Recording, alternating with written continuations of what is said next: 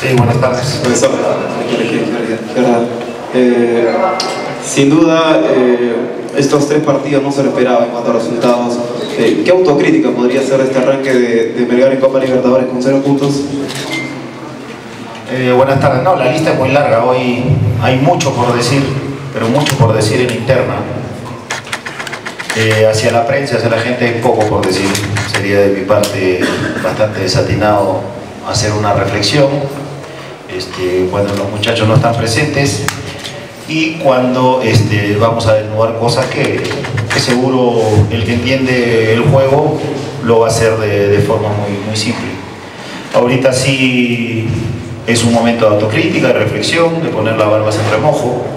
Este, está claro que no nos ha alcanzado, está claro que hemos dejado de hacer cosas, pero bueno, esto es fútbol y en estos momentos en donde se ve la gente que tiene la jerarquía, la rebeldía de querer revertir la situación. Eh, sí, profe. Eh, bueno, eh, preguntarle qué faltó Melgar en lo futbolístico por ejemplo, con el partido con Mineros se lo perdió, pero se mantuvo a los brasileños contra las cuerdas. Esa tarde no pasó eh, esa figura y el, punto este de la, de la racha en contra. Perder un partido eh, preocupa, pero ¿cómo se vive una racha de malos resultados? No, sí, con, lo que acabo de decir, si tienes rebeldía, si tienes determinación, perseverancia, seguro que la, la situación actual la vas a revertir. Este, el análisis del fútbol da para, para que yo pueda decir mil y un pretextos, mil y un este, situaciones eh, ficticias.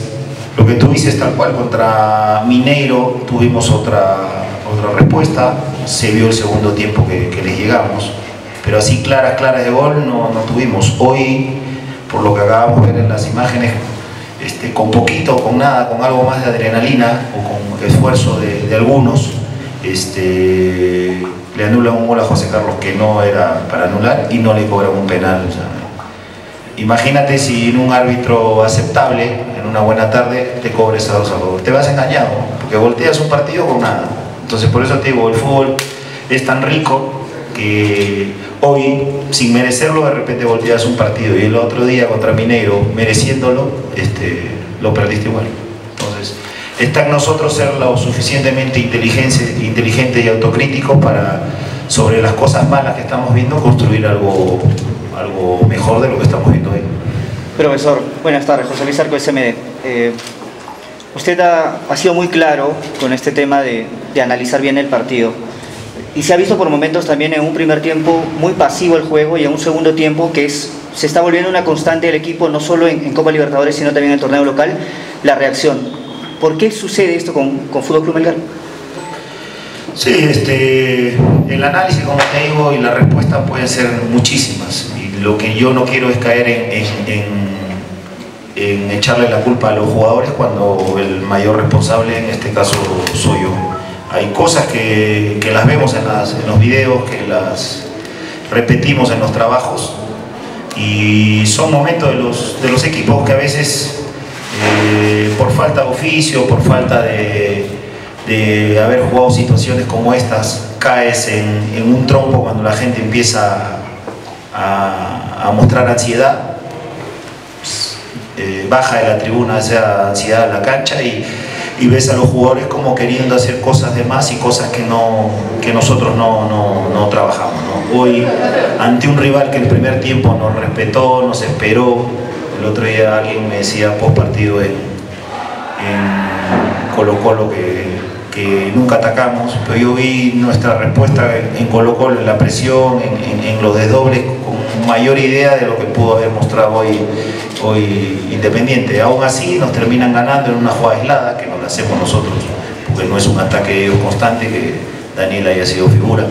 Pero bueno, esas son las cosas que tenemos que, que corregir y saber que no nos pueden volver a pasar, porque ya hemos pasado más de un blooper y se terminan trasladando en goles en contra.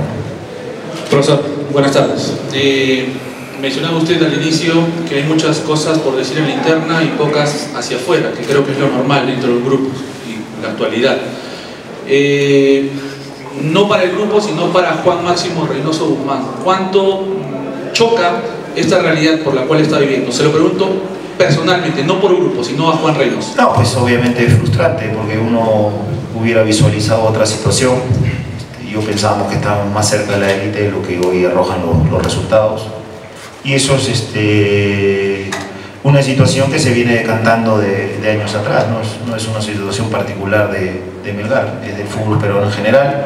Yo pensé que íbamos a tener otra respuesta, hoy este, no nos ha dado ni para sumar un punto, pero como decía hace un par de semanas, tampoco es que nos vamos a ir con, con cero puntos. Ahí está la revertida, el, el hecho de querer este, no ser uno más del, del, entorno, por ahí no nos va a alcanzar a clasificar, pero cero, con cero puntos no, no, no nos vamos a quedar.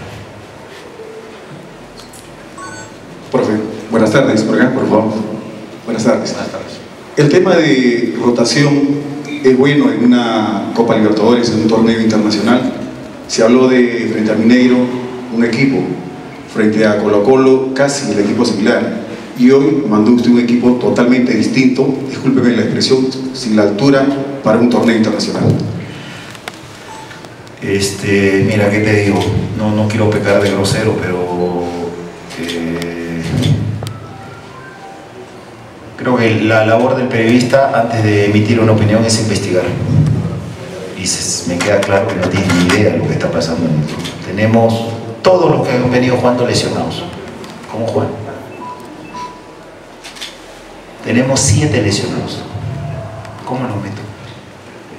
Por eso te digo, antes de emitir una opinión, creo que por respeto a tu profesión, investigue y te vas a dar cuenta que el cachete viajó lesionado a, a Chile. Pensamos que podíamos recuperarlo. Tenemos a Santa María, tenemos a Arismendi, te, tenemos Wally, tenemos Inostroza. Este, y por eso no, no, nosotros no somos de, de, este, de acelerar los procesos, nos gusta que los jugadores de forma natural lleguen a, sus momentos, pero hoy este, le dimos chance a Palomino y a Arce, que obviamente tienen menos recorrido de lo que acabo de mencionar, pero no teníamos más, hoy llegamos casi con 17 al, a la lista de 18. Este, entonces sobre eso, ¿qué podemos hacer? Ese era el mejor equipo que podíamos este, poner dentro de la cancha, más aún con el desgaste que tuvo Estrada y José Carlos el fin de semana. Pero bueno, ese análisis este, queda para nosotros, no es disculpa. Hoy pusimos sí el, mejor equipo que podíamos nosotros poner en un, primer tiempo ante un rival que si le podíamos hacer daño jugando, no, no, no tirando pelotazos.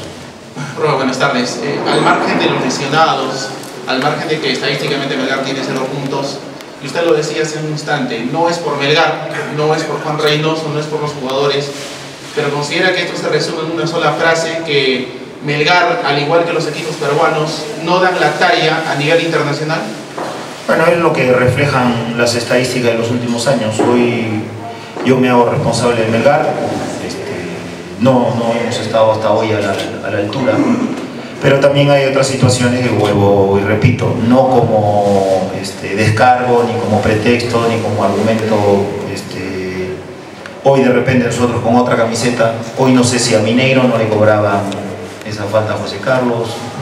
Entonces nosotros hoy lo que tiene que entender la gente es que Melgar hoy tiene que escribir, una nueva historia. Y una nueva historia le, escribes con participaciones constantes dentro de la Libertadores, sumándole a los muchachos categoría, oficio, roce internacional. Y esa es la inversión que debe hacer el club, porque si no, eh, vamos a hablar de lo mismo año tras año, o el que venga este, seguro hablará de lo, de lo, mismo, como ha pasado en todos los clubes que le ha tocado participar en Libertadores en los últimos años. Profesor, buenas tardes. Sabiendo el desgaste que tiene el equipo, los lesionados, ¿cómo se va a afrontar el torneo de apertura? Ya el domingo hay un partido con Huancayo ya de visita. Sí, sí, no, con lo mejor que tengamos. Nosotros más allá que algunos sigan llamando rotación, nosotros ponemos los fines de semana lo que creemos conveniente de acuerdo a la salud de los jugadores. Eso se los comenté ya hace varios días. Y los que alcancen a llegar bien para el domingo seguro participarán. Después de varias semanas vamos a tener un, un día libre, y no es un día libre de premio, es un día libre para tener nuestra reflexión, autocrítica, cambiar de a pocos el chip y ya pensar en, en, en ganar en Huancayo porque nos tenemos que meter nuevamente arriba en el, en el torneo. Buenas noches. Alexander Alarcón, Deportivas. Eh, se han perdido estos tres compromisos, usted siempre ha dado a entender de que la, clasificación no se pierde hasta el último compromiso, y que va a luchar hasta el último compromiso que tiene con Mineiro. ¿Es así, profesor, como usted sueña que pueda clasificar? Mira, hoy matemáticamente incluso es, bastante complicado. A mí me ha tocado con 8 o 9 puntos quedarme afuera alguna Libertadores, hoy podríamos sumar solo, solo 9. Este, los rivales nos han sacado ventaja. Pero lo que sí este, me preocupa hoy es no terminar la Copa con, con cero puntos, porque eso sí este, nos daría mucha, mucha vergüenza, no era lo que para nada habíamos visualizado. Y en esa está la, rebeldía de nosotros de poder revertir esa situación y, sumar puntos ya sea en casa o en la visita a Quito, cuando venga nuevamente Colo, eh, venga Colo Colo. Este, ese es un poco lo que hoy visualizamos. Obviamente no es momento como para estar haciendo números, más ver si el, minuto a minuto las cosas que dejamos de hacer y en donde nos, complicó en este caso el Independiente. Gracias. Profesor, una última.